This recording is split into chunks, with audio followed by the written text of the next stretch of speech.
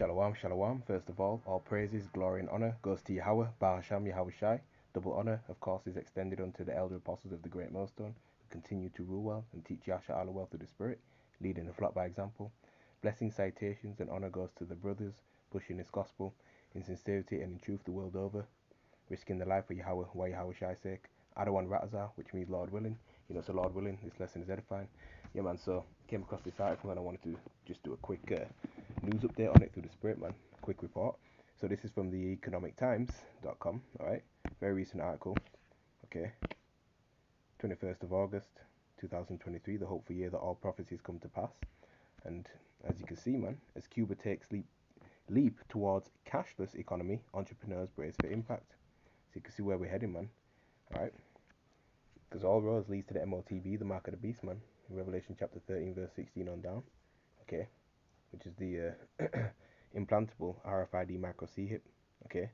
So the article says when Cuba in early August announced it was taking a major step towards electronic banking and an open quote cashless end quote society, the offices of fledgling small businesses across the communist run country were left scrambling to figure out how to respond. Most alarming to pay buddy entrepreneurs was a new 5,000 peso, which is twenty dollars cap on cash withdrawals for businesses, one of several measures for the government. Okay, that said they were aimed at forcing Cubans to do their transactions electronically via transfer, online payment, and bank cards. And over here in the UK, man, they're shutting down a lot of bank branches. Okay, all right, because they'd rather you, you know, you bank online. Okay, so again, we can see where all this is heading, man. You know, now people, you so-called Negroes, Latinos, and Native Americans, and your Israelite foreigners scattered around the world, you speckled bird, all right, mingled amongst these other nations.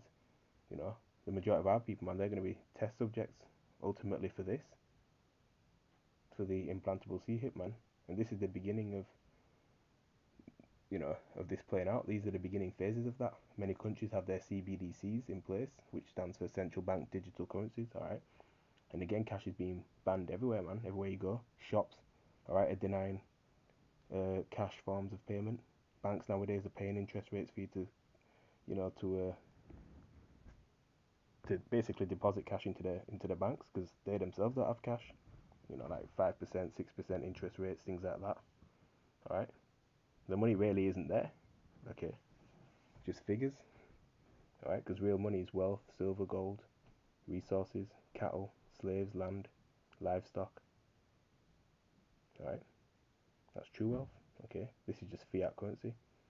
All right, so this is this is gonna collapse this economy. It's all gonna collapse. Just look up fractional reserve banking, man. Alright? And this is a, you know, a major move. It says the changes were needed to stem a cash shortage, Cuban central bank officials said, as the fast falling peso and soaring consumer prices combined to drain bank reserves and ATM machines. Alright? But concerns over their impact are already causing difficulties, said Julieta Hernandez, founder and manager of Pilares Construction, a private Havana based builder that employs 60 people.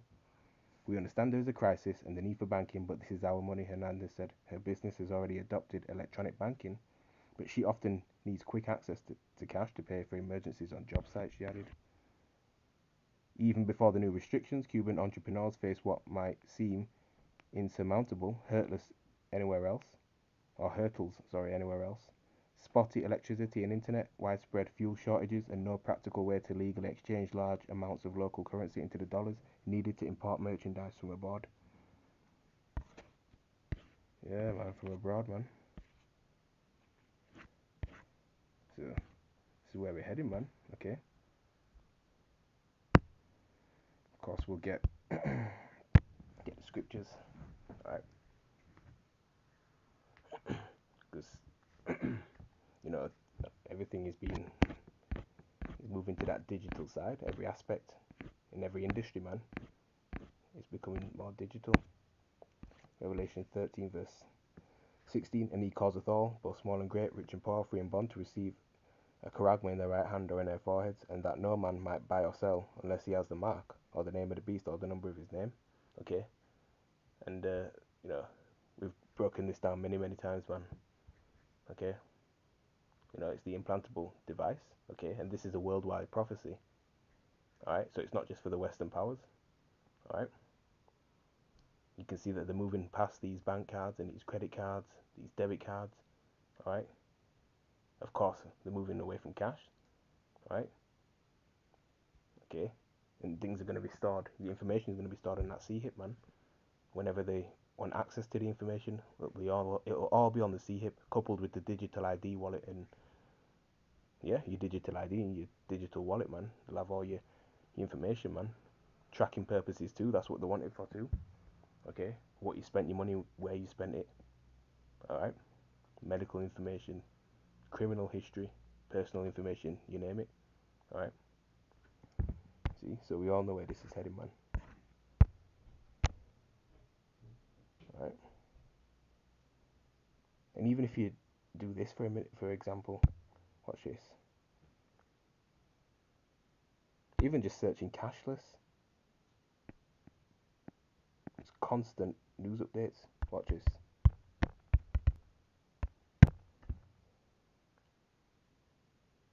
No app, no entry. How the digital world is failing the non-tech savvy. The Guardian, Daily Mail. The Kardashians' favorite salad chain health nut goes cashless following recent string of thefts.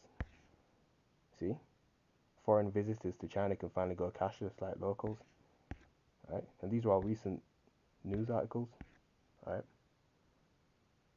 but we know that the elect of the nation of Israel, right, they ain't going to be deceived by this, and they and they will turn back to Yahweh Shem Shai. All right but the majority of our people in Babylon the Great, the two thirds, right? If they, when you know, when destruction comes, then you know two thirds are, are doomed, really, right? And if you take this device, you can't repent. So with that, let me say, uh, yeah, shalom.